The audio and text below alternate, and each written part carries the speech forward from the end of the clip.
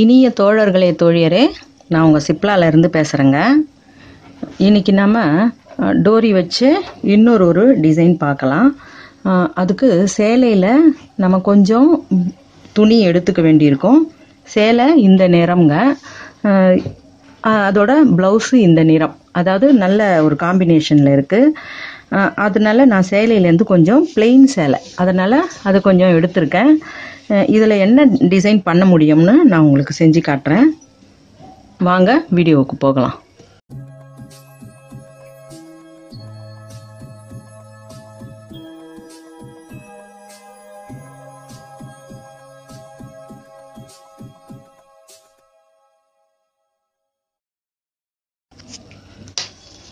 இப்போ அந்த double colour double கலரில் நாம் கொஞ்சம் டோரி செஞ்சு வச்சுக்கணும். முதல்ல அதை செஞ்சுட்டு பிறகு இதை எந்த இடத்துலேருந்து நம்ம ஆரம்பிக்கிறோம்னு நான் காட்டுறேன் பாருங்கள் ரெண்டு.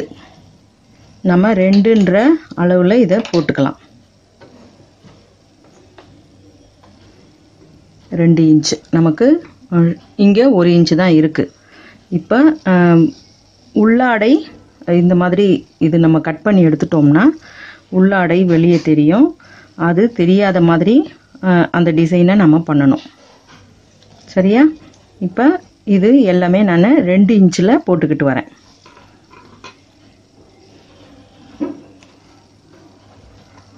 இது எல்லாமே ரெண்டு இன்ச்சு.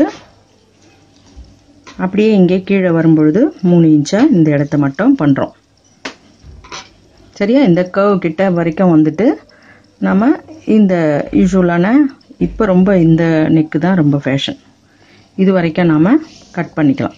சரியா? இது வரைக்கும் கட் பண்ணிவிட்டு என்ன பண்ணலான்னு பாருங்கள் இப்போ இது வரைக்கும் நம்ம கட் பண்ணி எடுத்துட்டோம். எடுத்த பிறகு இப்போ சேலையோட துணியை நம்ம கொஞ்சம் உபயோகப்படுத்திக்கணும். அதே போல் நம்ம முன்னாடி ஒரு டிசைன் பண்ணும்பொழுது பேப்பர் வச்சு செஞ்சோம் இல்லையா? அதையும் இதில் செய்ய வேண்டியிருக்கும். அதுக்கு முன்னாடி நமக்கு தேவையான அளவு இந்த நிறத்துலையும் இந்த நிறத்துலையும் கொஞ்சம் டோரி செஞ்சு வச்சுக்கலாம். சரியா? இப்போ நம்ம இதை ஸ்டார்ட் பண்ணுவோம்.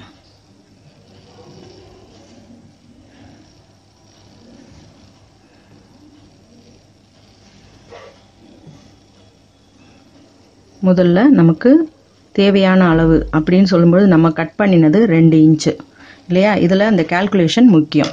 நமக்கு ஃபினிஷிங்கில் நம்மளோ நம்ம எவ்வளோ கழுத்து வேணுமோ அந்த கழுத்து அளவு நமக்கு வரணும். இல்லையா? அதனால நம்ம வெட்டினது ரெண்டு. இந்த பக்கமும் அந்த பக்கமும் கால் கால் இன்ச்சு போகும் பொழுது நமக்கு அது நம்ம ரெண்டு ரெண்டு கணக்கு பண்ணணும். ரெண்டரையில் இதை வந்து நாம் வைக்க போகிற விதம் இப்படி வைக்க போகிறோம் சரியா? சிங்கிள் சிங்கிள் தான் இப்படி வைக்க போகிறோம் இப்படி வைக்கும் பொழுது நமக்கு ரெண்டரையில் ஒன்னே கால் தான் வேணும். சரிங்களா? ஒன்னே கால். அப்படின்னும் பொழுது நம்ம இந்த ரெண்டுமே இப்படி மடித்து வைக்கும் பொழுது இங்கே ஒரு கால் இன்ச்சு போயிடும் இந்த ரெண்டு பக்கமும் டோரியில் கால் கால் இன்ச்சு போயிடும். ஓகேவா? அப்போ நம்ம இதை எடுக்க வேண்டிய அளவு ஒன்னே முக்கா. சரியா? இந்த பக்கமும் இன்னொரு இந்த நிறத்தில் செஞ்சு வச்சுருக்கோம் இல்லையா? இதுக்கும் ஒன்னே முக்கால் நம்ம அளவு எடுக்கணும். நம்ம இந்த ஸ்டிச்சிங் எல்லாம் போக மிச்சம் தான் நமக்கு சரியாக வரும். இப்போ நீங்கள் பிகினர்ஸாக இருக்கும் பட்சத்தில் கொஞ்சம் ரொம்ப கரெக்டாக வச்சு தைக்க முடியாது அப்படின்ற பட்சத்தில் நீங்கள் ரெண்டு இன்ச்சு கூட இந்த ஒரு ஒரு டோரியும் ரெண்டு ரெண்டு இன்ச்சு கூட எடுத்துக்கலாம். கொஞ்சம் எக்ஸஸாக நமக்கு உள்ளே போயிட்டாலும் ஒன்றும் பிரச்சனை இருக்காது. ஆனால் வைக்கிறது ஃபுல்லாக ஈவனாக இருக்கணும். அது ஒன்று தான் இதில் ரொம்ப முக்கியம். சரிங்களா? நான் ஒன்றே முக்கா ஒன்றே முக்கான்னு கட் பண்ணிக்கிறேன். இப்போ நான் டோரியை எப்படி வைக்கிறேன்னு பாருங்கள் இப்படி வி மாதிரி மடிச்சுக்கோங்க. ஓகேவா இப்படி வி மாதிரி மடித்து அதை கரெக்டாக இது ஒரு இது ஒரு டோரியும் அது ஒரு டோரியுமாக கொடுங்க. இப்படி வி மாதிரி மடித்து பக்கத்தில் பக்கத்தில் கரெக்டாக வைங்க. ரொம்பவே லாங்கும் வேண்டாம் ரொம்ப நெருக்கமாகவும் வேண்டாம். எந்த கேப்பு மெயின்டைன் பண்ணுறீங்களோ அதே மாதிரியே வச்சுக்கிட்டு வாங்க. எந்த ஷேப்பில் நீங்கள் வைக்கிறீங்களோ அதையும் மாறாமல் ஒரே மாதிரி வைங்க. மேலே இங்கே மட்டும் கொஞ்சம் கேப் விட்டுடுங்க. நமக்கு ஷோல்டர் ஜாயின் பண்ணணும் இல்லையா? அதுக்காக இது இங்கே மட்டும் ஒரு ஒரு இன்ச்சுக்கு மேலே கேப் விட்டுடுங்க. எல்லாமே வி மாதிரி வச்சு இது எல்லாத்தையுமே நம்ம ஜாயின் பண்ணுறோம் இந்த நிறம் ஒன்று கொடுத்தா இந்த நிறம் ஒன்று கொடுங்க. இப்படி மடிச்சிங்கனாலே உங்களுக்கு வி மாதிரி கிடச்சிரும்.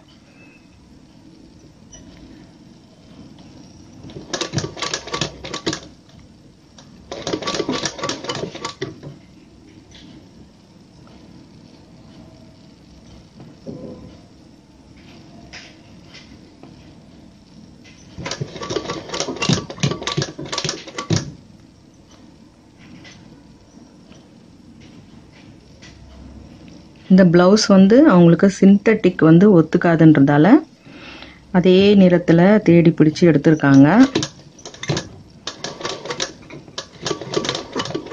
இந்த டிசைனுக்காக மட்டும்தான் அந்த சிந்தட்டிக்கில் கொஞ்சம் நான் யூஸ் பண்ணுறேன்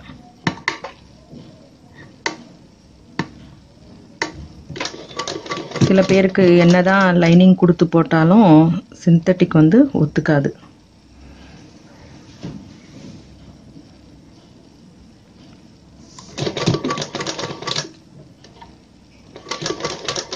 நம்ம ஃபுல்லாகவுமே இதே மெத்தடில் இந்த மாதிரி வி மாதிரி வச்சு வச்சு எல்லாத்தையும் ஜாயின் பண்ணிக்கலாம்.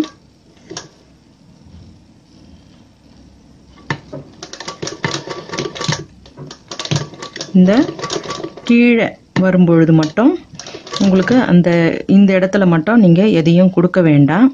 அப்படி கொடுத்தாலும் அந்த இடம் வந்து உங்களுக்கு கொஞ்சம் சிரமமாக இருக்கும். அதனால் இந்த வி ஷேப்பில் எதையும் தராமல் நம்ம எந்த இடம் திரும்ப இந்த இடத்துல இருந்து இங்கே ஸ்டார்ட் பண்ணணும். எந்த நிறம் முடிச்சிங்களோ அந்த நிறத்தையே நீங்கள் தொடங்குங்க.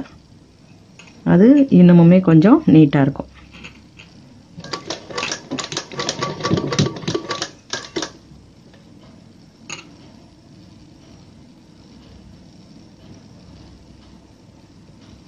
கழுத்து பீஸ் வந்து இந்த மாதிரி வெட்டுப்பட்ட இடம் அப்படின்றதால நம்ம இழுத்தா அது கொஞ்சம் அப்படியே வளைஞ்சு வந்துடும் அதனால் கழுத்து பீஸ் தைக்கும் பொழுது கை ஏற்றும் பொழுதோ நீங்கள் கொஞ்சமும் அதை இழுக்காமல் தைக்க பழகுங்க. ஏன்னா அந்த வளைஞ்ச இடங்களெல்லாம் நம்ம இழுத்துட்டோம்னா நம்ம இஷ்டத்துக்கு வந்துடும். அதுக்கு பிறகு உங்களுக்கு மெஷர்மெண்ட்டு மாறும்.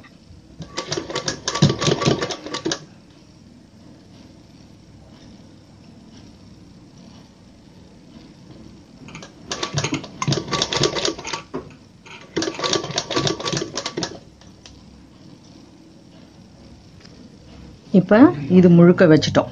இல்லையா? இதை நம்ம ஒன்று மாற்றி ஒன்றுன்னு ஃபுல்லாக வச்சுருக்கோம். இப்போ சேலையிலேருந்து நம்ம கிழிச்சு எடுத்த துணியை நம்ம இதிலையே அப்படியே மேலே வைக்கிறோம். கீழே ஆழத்துக்கு துணியோட நீளம் பத்தலைன்னு நான் கொஞ்சம் இது ஜாயின் பண்ணியிருக்கேன். அது வந்து பெருசாக தெரியாது. உங்களுக்கு வேணும்னா நீங்கள் இந்த கழுத்து வேண்டாம்னா நீங்கள் ரவுண்ட் கழுத்து கூட வச்சுக்கலாம். அது இன்னுமுமே நல்லாயிருக்கும் சரியா? இப்போ இதை நம்ம அந்த நியூஸ் பேப்பர் வச்சு நம்ம செஞ்ச மாதிரியே இதையும் அதே போல் கரெக்டாக செட் பண்ணிவிட்டு நம்ம ஒரு பின் பண்ணிக்கலாம்.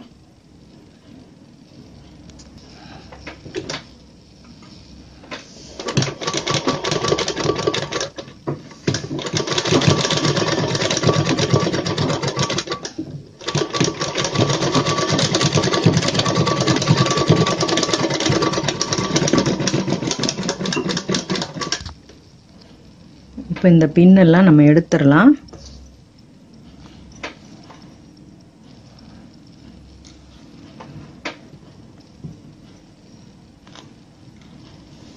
இப்போ நமக்கு தேவையான அளவு அதாவது அவுட்டரில் ஆம் ஹோல் கிட்ட வெளியே நீட்டிட்டுருக்கு இருக்கு அந்த இடத்துல நாம் எவ்வளோ கட் பண்ணுறோம்னா நம்ம இங்கேருந்து கட் பண்ணின அளவு ப்ளஸ் ஒரு அரை இன்ச்சு கூட சேர்த்து நம்ம கட் பண்ணிக்கலாம். சரியா?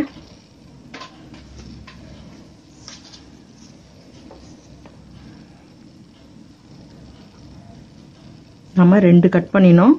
ரெண்டரை அப்படின்ற அளவுக்கு நம்ம இதை ஃபுல்லாக நமக்கு தேவையான அளவில் அந்த ரவுண்டை ஃபுல்லாகவுமே கட் பண்ணிக்கலாம்.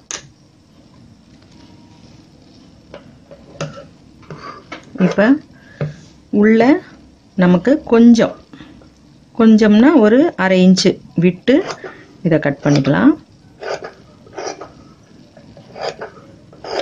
இங்கே கீழே வந்து உங்களுக்கு அந்த அளவுக்கு துணி குறைவாக இருந்தாலும் பரவாயில்லை. இந்த இடம் வந்து நம்ம கொஞ்சம் ஃபோல்டு பண்ணி தைக்க போகிறோம் அதனால் அது கொஞ்சம் கம்மியாக இருந்தால் பிரச்சனை இல்லை. கொஞ்சம் தான். அதுக்காக நிறைய கம்மியாக இருக்கக்கூடாது.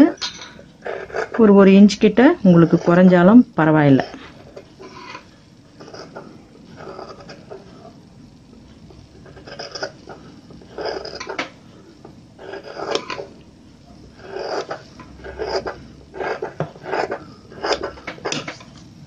இப்போ இதை நம்ம கட் பண்ணி எடுத்துட்டோம் இல்லையா? இப்போது இதை நம்ம அப்படியே இப்படி திருப்புறோம். திருப்பும் பொழுது நமக்கு இந்த உள்பாகம் உள்பாகத்தில் இந்த துணி வருது இல்லையா?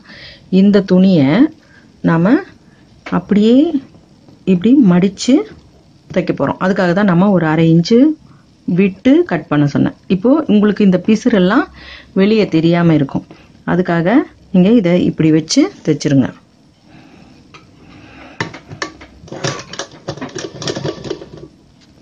இந்த பிசுரை நீங்கள் தைக்கும் பொழுது ஃபுல்லாக கண்டிப்பாக இந்த பக்கம் எல்லாத்தையும் இப்படி நீக்கிடணும். நீக்கி இந்த நம்ம தைச்ச டோரியெல்லாம் இந்த துணியோட கூடவே வெளியே தெரியணும் நீங்கள் இதை மட்டும்தான் மடித்து தைக்க போகிறீங்க சரியா? இந்த டோரி எதுனா உள்ளே மடங்கியிருந்தால் நீங்கள் அப்பப்போ அதை சரி பார்த்துட்டு தைங்க. நமக்கு இந்த இடத்துல தனியாக ஒன்றும் செப்பரேட் கொடுத்து நம்ம செய்ய வேண்டாங்கிறதுனால நான் இந்த துணியே இப்படி எடுத்துக்கிறேன். இப்போ இந்த மாதிரி மடிச்சிருக்கும் பொழுது நீங்கள் கண்டிப்பாக கையில் திருப்பி விட்டுட்டு அதை இந்த இடத்த ஃபினிஷ் பண்ணுங்கள்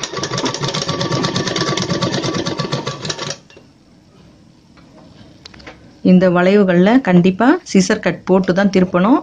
இல்லைன்னா உங்களுக்கு திருப்ப முடியாது. அதனால் இந்த இடத்துலலாம் சிசர் கட் போட்டுட்டு திருப்புங்க. அதே போல் இந்த இடத்துல வரும்பொழுதும் நீங்கள் இங்கே இதில் சிசர் கட் போட வேண்டாம். நம்ம இந்த கொஞ்சம் துணி உள்ளே மடித்து தைக்க கட் பண்ணினோம் இல்லையா? அதை மட்டும் கொஞ்சம் நடுவில் கொஞ்சமாக கீறி விட்ட மாதிரி பண்ணிக்கோங்க. அப்போ தான் உங்களுக்கு இந்த பக்கமும் அந்த பக்கமும் பிரித்து மடிக்க சரியாக வரும்.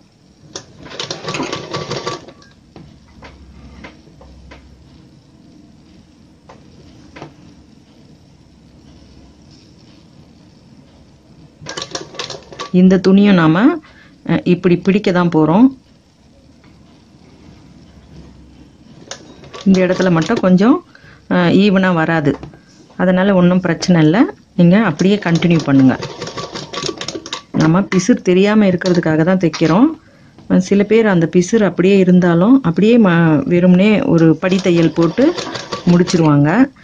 எனக்கு கொஞ்சம் பிசுர் வெளியே தெரியாமல் தைச்சி பழக்கம். அதனால் நான் அப்படியே தைக்கிறேன்.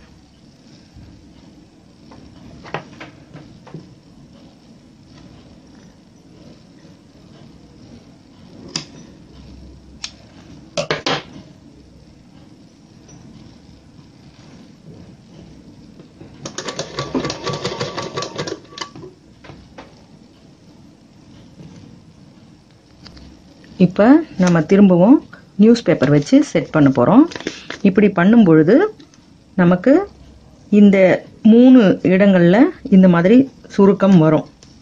இது வந்து வரத்தான் செய்யும். ஏன்னா இப்போ இந்த நீங்கள் இந்த துணி கொடுக்காம வெறுமனே கூட இந்த டிசைனை மட்டும் நீங்கள் செஞ்சு அதுக்கப்புறம் நம்ம கண்டினியூ பண்ணி முடிச்சிடலாம். சில பேருக்கு அந்த ஸ்கின் உள்ளே தெரியக்கூடாதுன்றதுக்காக மட்டும்தான் இந்த துணியை விற்கிறேன் இது வேண்டாம்னா நீங்கள் இந்த போர்ஷனை அப்படியே நீங்கள் கட் பண்ணிவிட்டு அடுத்து நான் சொல்ல போகிறத அப்படியே ஃபாலோ பண்ணலாம். சரியா? இப்போ நம்ம இது இது எப்படி எப்படி நம்ம மடித்தா கரெக்டாக வருமோ அந்த மாதிரி நீங்கள் மடிக்கணும். அதாவது இந்த பிசுர் வந்து உங்களுக்கு கீழே வரக்கூடாது. சரியா? இந்த பிசுர் கீழே வராமல் நீங்கள் அதை கொஞ்சம் ஈவனாக உள்பக்கத்துலேயே அது போகிற மாதிரி வச்சு ஒரு ரெண்டு மூணு விசிறி மடிப்பு மாதிரி இப்படி வச்சுட்டு நீங்கள் அப்படியே இதை ஃபுல்லாக சுற்றி அந்த உங்களுக்கு தேவையான ரவுண்டு எவ்வளவோ அந்த அளவை நீங்கள் ஓட்டி எடுத்துக்கோங்க. சரியா? இப்போ இங்கே ஒரு ரெண்டு விசிறி மாதிரி வருதுன்னா இங்கேயும் ரெண்டு அதே மாதிரி கீழே மடிக்கிறீங்கன்னா கீழவே மடிங்க. இங்கே ஒன்றே ஒன்று தான் வரும். உங்களுக்கு வேணும்னா நீங்கள் பெருசாக மடிச்சுக்கலாம்.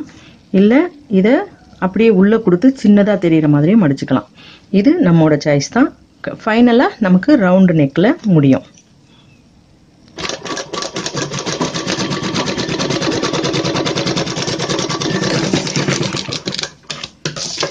இப்போ நீங்கள் பேப்பரை எதுவும் அப்படியே பேப்பரை ஃபுல்லாக எடுத்துடாதீங்க எடுக்காமல் உங்களுக்கு எவ்வளோ கழுத்தோட ஆழமோ அதை அளந்துக்கிட்டு நீங்கள் இதை கட் பண்ணிக்கோங்க. ஏன்னா இப்போதைக்கு நீங்கள் பேப்பரை எடுத்துட்டிங்கன்னா உங்களுக்கு இந்த துணியோட வழுக்கல்ல செய்ய முடியாது.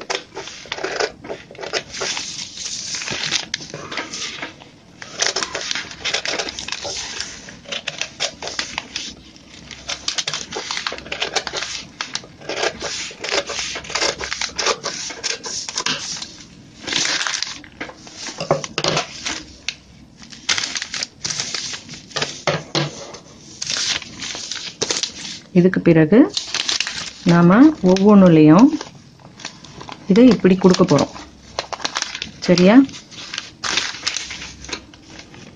இது ஒன்று ஒன்றையும் இந்த மாதிரி கொடுத்து நம்ம ஃபினிஷ் பண்ண போகிறோம் இப்போ இதுக்கு மாற்று நிறம் இதை கொடுத்தோம்னா அதுக்கு வேற கொடுக்கணும்.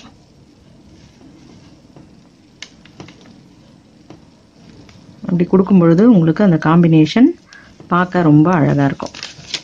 இப்போ இந்த பேப்பர் இருந்ததுன்னா உங்களுக்கு கொஞ்சம் சுலபமாக இருக்கும்.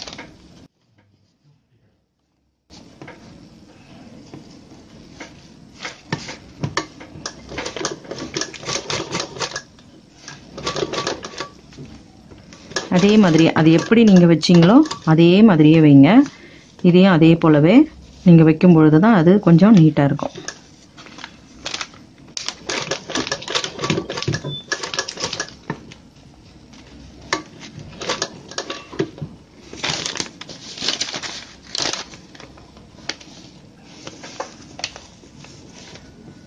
இது மாதிரி ரொம்ப குட்டியாக இருந்ததுனாலும் உங்களுக்கு சிரமமாக இருந்தால் நீங்கள் இன்னமுமே கொஞ்சம் பெருசாக கூட வச்சுக்கலாம். இது வந்து நான் ஆரம்பத்துலேயே சொன்ன மாதிரி இதெல்லாம் வந்து நம்மளோட சாய்ஸ் தான். உங்களுக்கு லென்த்தாக வேணும்னாலும் லென்த்தாக வச்சுக்கலாம். ஒரு சிலருக்கு ரொம்ப சின்னதாக தான் வேணும். இந்த கேப் வந்து ரொம்ப சின்னதாக வேணும்னு கேட்குறவங்களுக்கு நீங்கள் இப்படி வைக்கலாம்.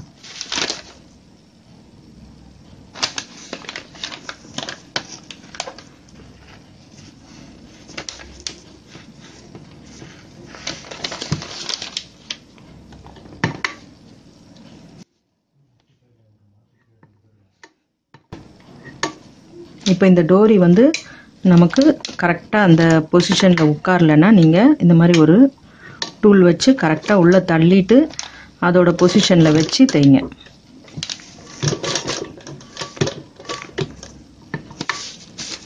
இதே மாதிரி ஃபுல்லாக ஃபினிஷ் பண்ணுங்கள் இப்போ இந்த சென்டரில் மட்டும் நாம் ஒரே ஒரு தையல் அதில் போட்டுடலாம். மற்ற டிசைன்லலாம் அது உள்ளே இருக்குது வெளியே தெரியல. இந்த இடத்துல மட்டும் கொஞ்சம் வெளியே தெரிகிற மாதிரி இருக்கிறதால இங்கே ஒரு தையல் போட்டுட்டு நம்ம இதை கட் பண்ணிடலாம்.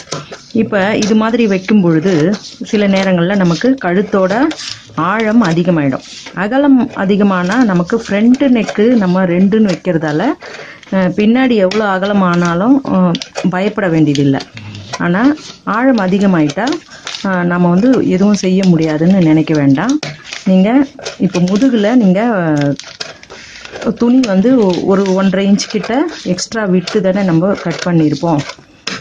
கீழே மடித்து தைக்கிறதுக்காக அந்த மாதிரி இருக்கிற பொழுது பயப்பட வேண்டாம். ஆனால் மடி மடித்து தைக்க இடமே இல்லை.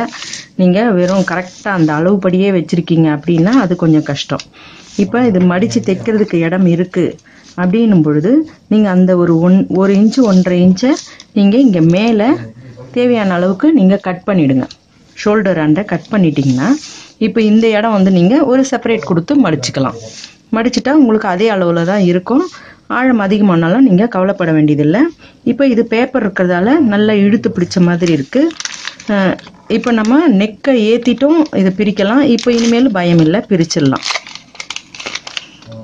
ஏன்னா அந்த டோரி வந்து ரொம்பவே கிட்ட இருக்கிறதால கொஞ்சம் கஷ்டமாக இருக்கும். நான் வந்து நெக்கை ஏற்றிட்டு பிறகே நான் அதை கிழிச்சிக்கிறேன். ஏன்னா அதை செய்யும் பொழுது தவறுதெல்லாம் நம்ம துணியை பிரிக்கிறதுக்கு வாய்ப்பு உண்டு. அப்படியே இதை பைப்பிங் வைக்கிறேன்.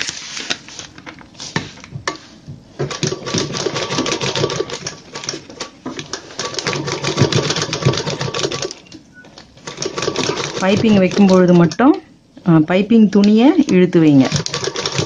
நம்ம தைக்கும் பொழுதும் இந்த ஓரம் தைக்கும் பொழுதும் இழுத்து தான் அதாவது ரொம்பலாம் இழுக்க முடியாது. அப்படியே லேசாக இழுத்துக்கிட்டே அது கிராஸ்ன்றதால இழுத்துக்கிட்டே தைப்போம் இல்லையா? அதே தான் அந்த நம்ம இந்த பக்கம் இழுத்துக்கிட்டே தைக்கிறோம். இந்த பக்கம் இழுக்காம நம்ம இதில் வைக்கக்கூடாது. அந் இதுக்கு என்ன அஹ், எவ்வளோ ப்ரெஷர் கொடுத்து நம்ம செஞ்சோமோ அதே ப்ரெஷரை இந்த பக்கமும் நம்ம செய்யணும். உடம்பு துணியில் எதையும் பண்ணக்கூடாது. நம்ம செய்ய வேண்டியது இதில் மட்டும்தான். லேசாக நம்ம இழுத்துக்கிட்டே தைக்கிறோம். அவ்வளோதான்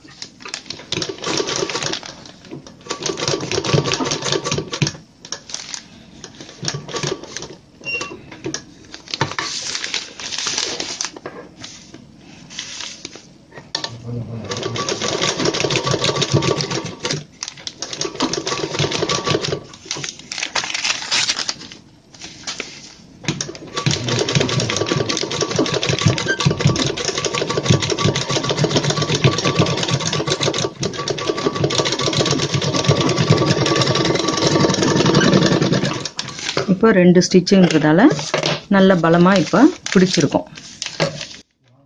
இதில் எப்போவுமே நீங்கள் பைப்பிங்கில் சிசர் கட்டு போடவே கூடாதுங்க. எக்ஸஸாக எதனா துணி இது மாதிரி நீட்டிக்கிட்டு இருக்கும் பொழுது அதை மட்டும் வேணால் நீங்கள் கொஞ்சம் கட் பண்ணிக்கலாமே தவிர ஏன்னா அது நம்ம இப்படி தைக்கும் பொழுது அந்த பிசுறு வந்து வெளியே தெரியக்கூடாது. அதுக்காக கட் பண்ணலாமே தவிர நீங்கள் வேறு எதுக்காகவும் நீங்கள் இதில் சிசர் கட்டு போடாதீங்க.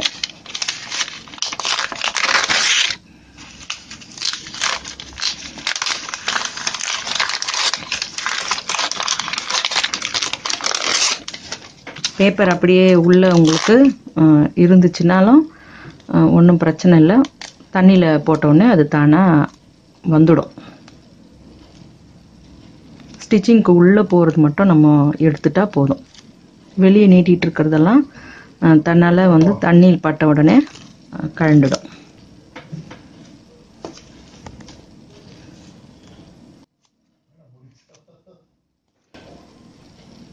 இதை வழக்கம் போல் நம்ம மடித்து தைச்சிடலாம்.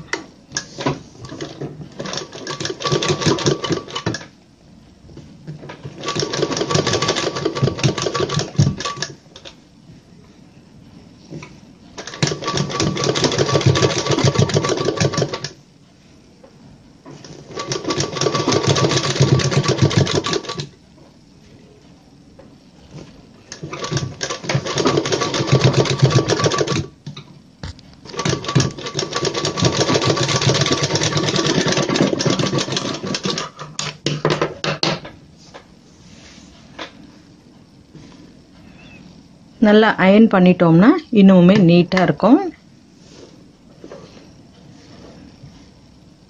பிடிச்சிருக்குங்களா உங்களுக்கு இந்த டிசைன் பிடிச்சிருந்தா எனக்கு லைக் கொடுங்க கமெண்ட் கொடுங்க ஷேர் பண்ணி சப்ஸ்கிரைப் பண்ணுங்கள் பெல்லைக்கான் அழுத்துனீங்கன்னா நான் போடுற வீடியோஸ் உங்களுக்கு தொடர்ச்சியாக கிடைக்கும். மிக்க நன்றி வணக்கம்.